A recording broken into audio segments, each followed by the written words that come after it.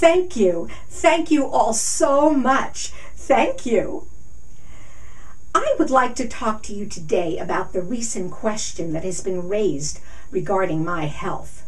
I want to let the American people know that I am in excellent health. How do I do it? I exercise daily doing my Jane Fonda workout. I am what you call presidentially fit. After my workouts, I sit down to write my speeches. My speech team always gives me information about what Donald Trump has said. And I say, Really? He said that? and then I watch the videos.